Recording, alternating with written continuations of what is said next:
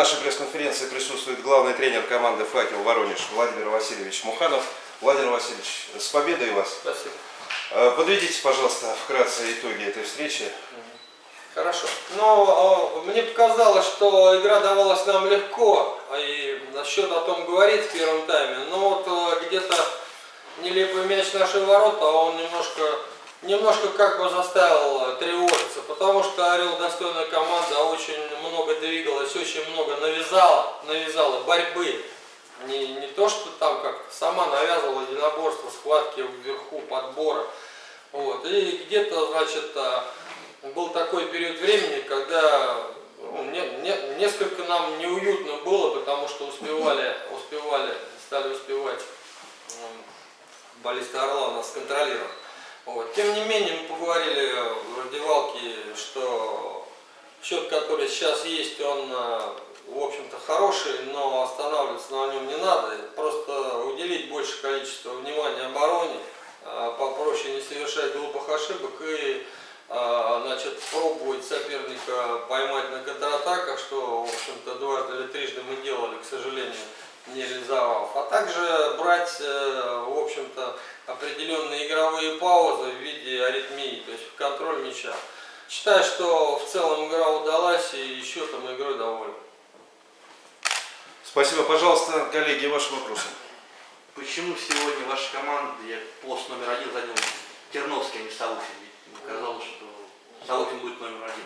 Потому что Терновский стоит, э, э, отыграл уже два матча, и у меня не вызывало сомнений э, его кандидатуры при назначении на сегодня. Предыдущие два матча он играл, и без всяких ошибок. Пожалуйста, еще вопросы. Владимир Васильевич, вы 10 лет работали в Казахстане, выиграли всевозможные трофеи. Какой-то параллели можно провести с Казахстаном и нашей второй лигой? Второй лиги нет. Нет, вторая лига бли- близко не датируется. Это лучшие команды первой лиги, возможно, и худшие там выше. Премьер. Цель факела ФНЛ. А, Ну, в общем-то, факел и такая земля, где нужен футбол более высокого уровня. И этой задачей мы все вместе живем. Болельщики этого заслужат, город этого заслужит, все заслужат. Но вы начинаете практически с нуля сейчас новая команда. Вам Не практически, а с нуля я начал. С нуля. С абсолютного нуля. И моя задача в кратчайшие сроки создать такую бо- боеспособную команду, которая может решать э, задачи, которые перед нами стоят. Финансово ограничены или Я на финансовые вопросы не отвечаю, у меня есть президент, вот э, мы с ним решаем некоторые вопросы. Я никуда не лезу, у меня есть футбольное поле, больше никакие вопросы меня не интересуют. Я даже их не задаю. Владимир Васильевич, сегодня трое новичков, которых только Да. заявили, все трое успели принять участие в матче. Как оцените их? А, оцениваю, как достаточно лепту они внесли в общее дело команды, то есть сегодняшнюю победу, а претензий никому нет. Еще приобретение планируется? Э, Видимо, если они будут, то взамен на что-то. А 23 человека, которые я определил до зимней, до заявки, так и будет в этом количестве. Если мы кого-то будем приобретать, значит кто-то будет куда-то уходить. Есть вопросы? Да, Владимир Васильевич, э, три гола, в общем, были забиты головой, в общем, с- все три со стандарта. Тем самым был обеспечен результат, в общем-то, да, победный. Дальше команде было проще играть. А на старте сезона у вас было три ничьи. Мгм. Почему бы не, так сказать, вот пока идет становление игры, и в тех трех первых матчах не забить со стандартов вам? Почему сегодня залетело три, а раньше не залетало? Трудно ответить на этот вопрос, потому что, наверное, сейчас еще больше поработали над этим, чем э, в первые те туры, где мы только все вместе собрались. Это раз. А Мгм. второе, где-то в таких моментах, в общем-то, многое зависит от того, какова идет подача. Идет подача классная, значит, на нее есть кому вылететь. Не, не идет подача, значит, трудно забить. Работаем, работаем над этим компонентом. Я думаю, что сегодня могли и с игры забить не один гол, это все видели. Поэтому хорошо, что сегодня использовали стандарт. Александр Николаевич. Ну, проиграли игру на первых 20 минутах. Три стандарта, которые просто пришибли команду. В дальнейшем старались, но команда более мастеровитая, факел. Не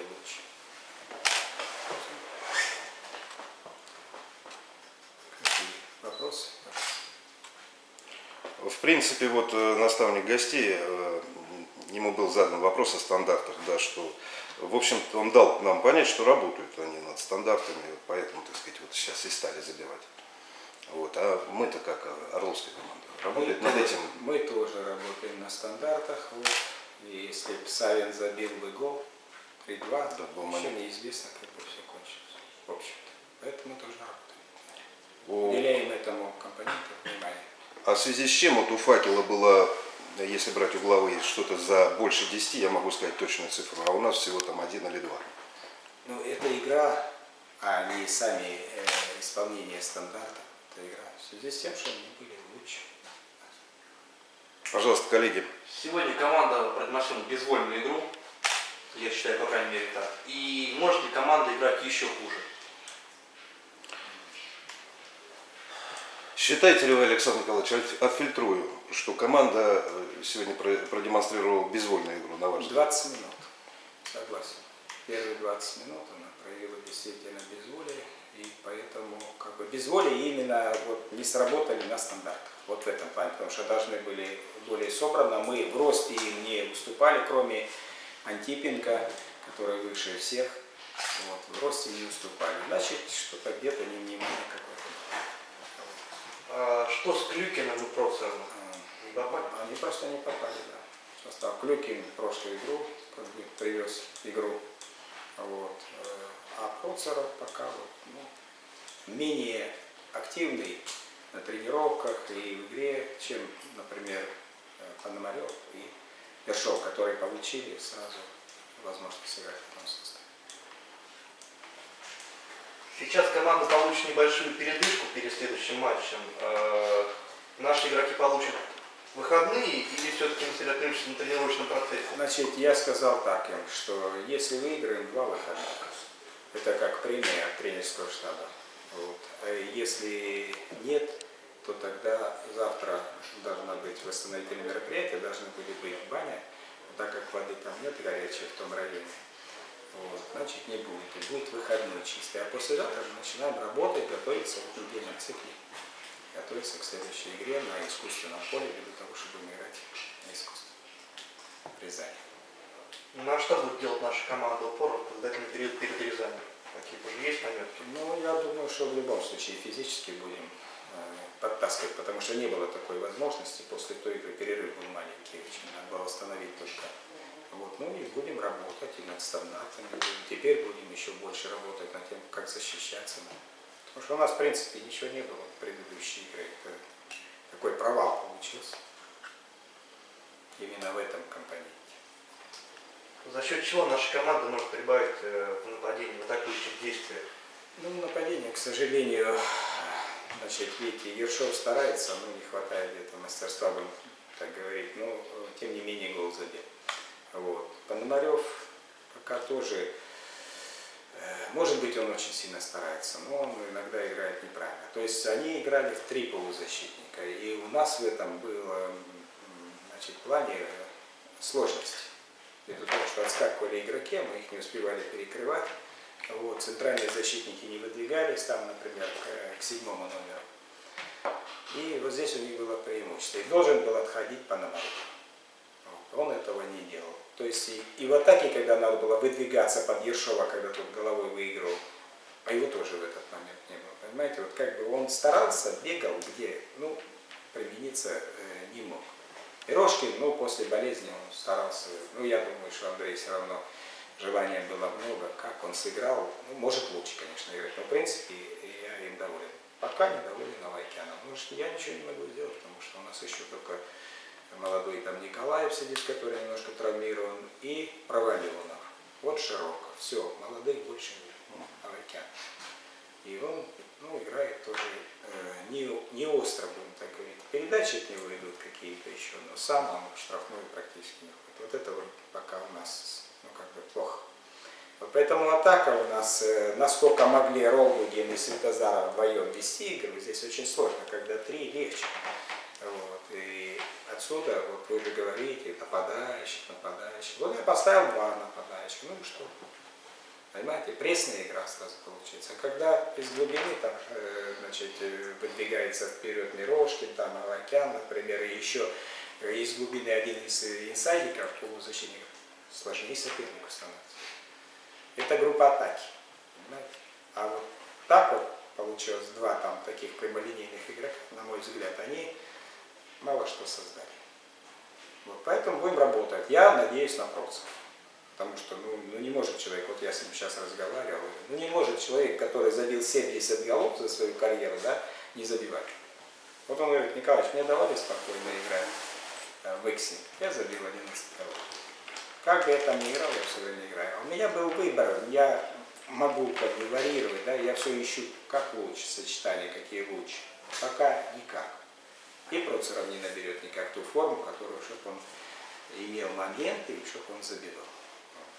Поэтому здесь есть сложность. Есть еще Окороков, который как бы быстрый, да, ну пока опять предпочтение отдал сегодня Ершову и Пономарю. Поддержал их на поле как можно дольше. А дальше, конечно, мы выпустили уже маленьких, но они никто не убежал, никто ничего не создал. То есть пока в нападении, да, нету, нету хорошего сочетания, чтобы действительно нагнетали и забивали, и моменты создавали. Ну да, боремся.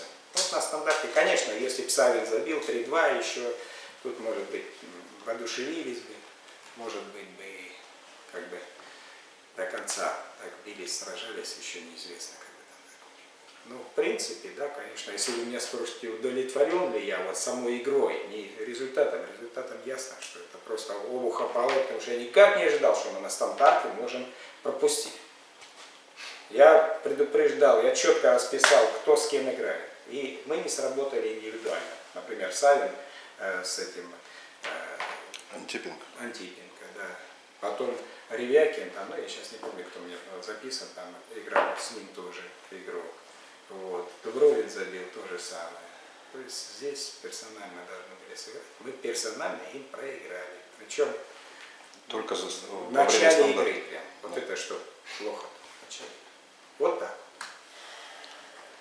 А не хотел сразу после такой начала какого ну, страшного для команды сменить кого-то. Кого сменить? Вот Ну я просто Ну как, как вот вы Нет, думаете, что так просто взял, сменил и все изменилось? Ну что?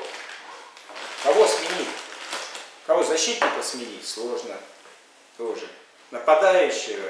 Вот я кричал Ершову, беги, возьми этого 20-го, потом поменяйся. Савин не, не, это, не выигрывает э, у Антипенко. Пойди туда. Он пока добежал, так другой забил. Даже не побежал, понимаешь? Потому что ну, уже, может, не слышал, может, не понял. Вот. А четко было задание, значит, Савин играет с. Ну, как бы один из лучших у нас защитников игре головой, видите, он, он всегда создает какие-то моменты у чужих ворот. Ну, он и у своих должен защищать. Ну, вот так игра сложилась. э, Как-то, ну, неудачно. Плюс вот какая-то неудача, ну, не в штангу, а в ворота. У нас обязательно туда. Все. А вот у них то вратарь потянет, то еще что-то. У нас еще есть какая-то возможность усилить позицию молодого футболиста? Может быть, резервный внутрь? Ну, я, в принципе, я жду одного игрока, хорошего игрока, я жду, но будет возможность его взять, когда его отпустят там свыше, это, с премьер-лиги, я не знаю. Вот это раз. Ну и завтра как бы Елкин приезжает, завтра, послезавтра Елкин уже Возвращается. Да, возвращается. Мгм. Все, мы там договорились, он уже расстался. Возвращается. Я ну, думаю, тоже усиление, но э, в связи с молодым вот этим, Да. надо молодого какого-то в серединку да, найти да. где-то, потому что, э, опять же, Елкины надо ж место. Да. Ну да. Вот, ну хорошо, пусть, пусть придет, пусть мы будем голову ломать, там кого чего как переставить, но Елкин это игрок. Что там? Селихов не вернется уже, да?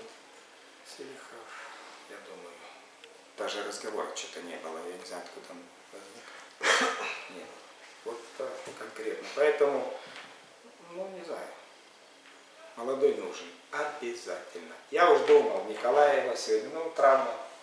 Вот. Про Валенова поставить среди. Ну вы посмотрите, если не справляется там по движению, говорит, вот Юркин, да, он проболел немножко, вышел, ну тяжеловато. Как бы. Но он все равно бойцовские качества там включил, два раза воткнулся. Ну, слава богу, хоть так. Потихоньку, конечно, будет прибавлять. Ну, поставить сейчас проваленного, это слабое будет место в середине теперь. Вот, молодежь, конечно, у нас пока. Ну, а Вакян уже по-разному играет, он иногда и хорошо играет. А иногда вот как стопор какой-то наступает, тут все, устает и надо менять. Ну вот выпустил, что равно что. А ему тоже надо как бы расти свой там местный. Вот такие дела.